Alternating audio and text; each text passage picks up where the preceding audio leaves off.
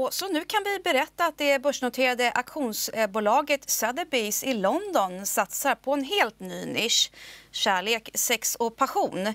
I samlingen finns olika verk på detta tema från flera olika århundraden och bland konstnärerna nämns Picasso, Sara Bernhardt och Helmut Newton.